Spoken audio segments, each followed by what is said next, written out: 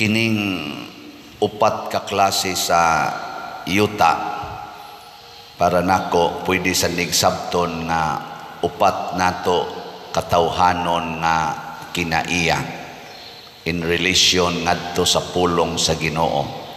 Unya nining atong upat ka basic nga kinaiya ang tulo ani musalikway sa pulong sa Ginoo niya ang usa ani maurag mo dawat. Niya kay kinaiya man pwede nato i-control. Himuan nato og desisyon. So kining upat ka sumbingay ni Kristo sa upat ka yuta mao ni ang atong mga desisyon sa kinabuhi Naiuban nga ini kadungog sa pulong sa Ginoo, automatic desisyon. Wa. Ano bang di ilang yun paminahon? Naasay uban, mo dawat, pero dili mo tuman. Ah, mao na, batuon. Malaos lang dayon. Mudawat din sa sulod simbahan. Abot dito unahan. Wag tang na. Nasay uban, mudawat pero daghan kay kondisyon. Nasa uban mudawat pero gadungan sa siyag dawat sa iyang mga gugma sa mga butang sa kalibutan. Kining maayong yuta mauni ang matud pa diri midawat o mituman sa pulong sa Ginoo. Sige kuno be lingi ang imong tupad nga sa imong desisyon karon mudawat ka og mutuman? Ina ko no? Ina sa imo bang mga desisyon karon mudawat ba ka og mutuman? O magluos lang kag pangatarungan? Dayon labi na kanatong katarungan. Ah, lisod eh lisod. Ang ang mansad ang ang mansad. Oh, ana. Naaman ta ana Nya kinira bang pulong sa Ginoo, wa ra ni dinhis misa. I-communicate nis Ginoo nato sa lain-lain yung paagi. Lain-laing paagi. Dili ra panahos misa or panahon diha basa ng Biblia kay mao ra man gini atong nasabtan. Naas Biblia ang pulong sa Ginoo. Sa wa pa abayay Biblia, sige na biya yung communicate ang Ginoo Unang daghan kay siya paagis pag-communicate. Ya ang pinaka-common nga pag-communicate sa Ginoo nato kana gyud mga panghitabo sa atong kinabuhi or mga sitwasyon sa atong kinabuhi. Dunay gisulti ang Ginoo diha. Nang litan imong bana nangabit unsa may gisultis Ginoo nimo diha nga pulong. Ha? Nga tanawa di bang lingiling sa may sulti? Ang mag-ingon ang Ginoo pangabit mo. Wala man mag-ingon ang Ginoo pangabit mo pero naa siya gisulti diha. Ikasakop gid nimo nga ang imong bana nangabit or ang imo bang asawa nangabit ang gisultis Ginoo niingon dayon siya pasaylua og kapituan kapito ana kay nakasaman nya mutuman mo ana nga pasaylua kapituan kapito. Mutuman mo dili doko-doko na ana reaksyon na ninyo. Ah, bahala ka diha. Naaman tay freedom. Kaning upat ka kinaiya gitagaan tag kagawasan sa Ginoo. Freedom ba? Freedom to decide. Ingon ana kabuutan ang Ginoo nato. Tagaan ta niyag freedom to react. Imo ba nang i-reject diretso? Imo bang suwayag dawat? Nya undang dayon? Or imo bang butangag mga kabalaka o kahingawa ang imong kinabuhi? O kaha imo ginang dawaton og imong praktison magsige jud kag ingon salamat Lord kay gitagaan ko nimo higayon nga makapraktis ko sa imong pulong nga nag-ingon pasayloag kapituan kapito. Salamat kaayo Lord. Kada lakaw sa imong bana or sa imong asawa ngadto iyang kabit moingon na sa ka salamat Ginoo ikanapo na to kapituan kapito gyud ang akong pagpasaylo. Oh di ba? To na nilakaw na sad pagsunod si mana. Ana lord ikaunsi na to. Kapituan kapito gyud Lord. Nga niabot naman yung 77 times. Ingon ka Lord salamat. Na anad nagyug pasaylo sa akong bana. Balik na sadkos unang pagpasaylo. Ah, wa na wa na limit. Na practice gid nimo. So katong okasyon sa pag pag libak sa o paglibak naman pagpangabit sa imong bana or sa imong asawa nahimong okasyon nga nibunga nahimong tinuod ang pulong sa Ginoo diha sa imong kinabuhi. Ah. Sige, ligay mo tupad na ikay matungman ana, pabungahon nimo. Ana. Kani si Padre Pio natugkan tungod sa iyang pagpaningkamot nga mosunod sa Ginoo labi na gyud sa mga kasakit sa Ginoo gitagaan ni siya stigmata kaning iyang kamot iyang tiil. Amot na apil ba tong iyang kilid? Ning gawas ang kanang buslot ba? Nga naay magtubod nga uh, dugo or nana. Nana. Baho na siya og nana pero ang nahitabo ang mugawas iyang kamot nga murag nana humot humot. Ana niya kay ang mga tao ganahan man muhikap ato kay ila man ko mahil man sila. Ah, motong iya na lang itong ganing gibanganan ang iyang kamot dire kay gisanksyon siya gidudahan siya sa mga authority sa simbahan nga giyawaan or naghimuhimo og stigmata motong 50 gito katuig nga sigihan siya balik-balik og kanini ang investigate Unya kasagaran Dios mo investigar mo ingon gyud dili ni tinuod nagdrama-drama ra ni siya Inana ba? Kana bitang hangtod gidid na siyang magmisa, gidid na siyang makigistorya sa mga tao, gidid na siya nga magpakumpisal. Kana bang gidudahan gid siya ba? Dawat ra pud siya. Dawat ra gyud. Kanang wa gyud problema. Eh kamo kono be, gatinarong ka nya dudahan pa gyud ka. Dawat mo dili reklamo, reklamo. Siya dawat ra gyud. Nya pagkamatay na gid niya, mo to'y gipakita gis Ginoo ang milagro sa kadaghan sa mga investigasyon na pulos gyud naghatag og pagduda nga dili tinuod nga divine kuan gyud to kana ganing gift pagkamatay gyud ni Padre Pio nawa gyud ang tanang samad pagtan-aw nila siyang lawas wa na samad Oh, ana. Unang porti na yung sikatan Padre Pio. Pero mao lagi porting sakita siyang giagian. Unsa may mga prinsipyo ni Padre Pio sa pagbuntog aning mga yawanon nga kinaiya. Ang una gyud ingon siya be careful of yourself.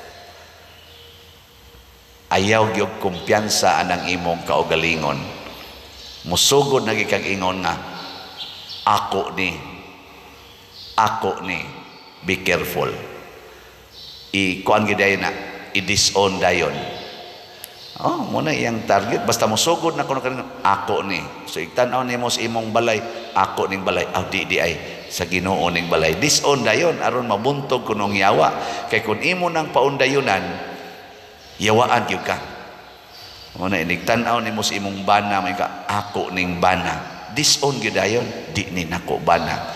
Gift ra ginis Ginoo. Ayaw jud kunog ang kuna. Be careful of the sa in English, be careful of the I. I I manage. I succeed. I sacrifice. I pray. I give kana mga ay ikaw niya og muhatag ko pa dir moingon ko I give dili ko no moingon ko no ka gisugo kos Ginoo paghatag oh ay na na siya gisugo ra ko. Muna ini kiskis ni mus imong kilay. Gisugo bakos Ginoo? Awa di ay. Oh ana sa di na ka mo kiskis igdayon nimong color sa imong buhok. Ay color adi di ay. Oh Gisugo di kas Ginoo pakolori imong buhok. Nya kuyog mo sa imong uyab. Muingon dayang Ginoo pag premarital sex mo. Oh inigingon mong I love you. Careful. Be careful. Labi na mo mga manag-uyab. Inigingon mong I love you. Siguro ah na nakasabot ka na nakasabot ka ba? Kay di ka kasabot inigtubag niya I love you too. Gakos dayon kinumutay dayon. Patay mo diya. Oh pare mo ingos madre I love you ter. Madre kumpiyansa I love you too pader patay. Oh. be careful. Kay basig ang imong pag-ingon kuno nga I love you I lost you. Ang kuan ganahan ko nimo mo na karon nagpuyo-puyo ang mga batanon. Siging puyo-puyo way kasal. Unya ang rason I love you siging sex ang pariharag gender pariharag genital organ babae og babae lalaki og lalaki unya ang girason I love you wa kasabot unsa nang ilang giingong I love you Oo. Eh, lingi ay mong tupad. Eh, nakasabot ka ng I love you. Sige, ngutan na. Pangutan a, wa mo mulingi. oh, I love you. Asan mo kasabot? Pangutan ako, pangutan ako. Eh, nakasabot ka pa der. Pangutan ako ba? Sige na. oh, wa tak sabot eh. Ang kanang love is God. God is love. Love is God. Moingon gani kang I love you. Pasabot ana I God you. Nya ikaw di mo Ginoo. Dili. Ang pasabot ana ako kang hatagan og Ginoo. Nya ang Ginoo mohimo day nag mga mga laway nga mga buhat muhimo dili o wa gina sa ato pa tagaan ti kag purity tagaan ti kag holiness tagaan ti kag virginity tagaan ti ka og grasya dili disgrasya. Muna ini kabuntis na dayog ingon na disgrasya. Patay. Mao na ang ay nga ang sunod nga paagi ni Padre Pio para kita makabuntog aning yawa mao ang pagantos ang pagantos. Kanang pagantos mo na ato din hing role no? Ay ka nga. Kanang magdamog bata nya antosonon. Ay igawas o sa antosa ngadtog butang sa gawas. Kundi kay kanang bata di man na mo antos. Ana so dadon ani mo sa gawas. Antosono nas ginikanan. Di ba? Cellphone mo tingog ihapak o sa salog aron ma matay. Makuyapan mo na. Antosono na? Ah, di ba? Imong silingan manlibak nimo antosonon kana kuno inigabot sa mga pagantos paglipay matod pa ni Padre Pio. Nganuman mauna ng okasyon nga ikaw makabuntog sa yawa. Kay ang pagantos nato makabuntog sa yawa nga nagsigig hulhog nato niining mga pleasures o greediness sa kalibutan. Kana bang kahakog kanang kalaway sa kalibutan kahilayan sa kalibutan ang kanang pagantos mauna na ang okasyon nga kita makabuntog sa yawa.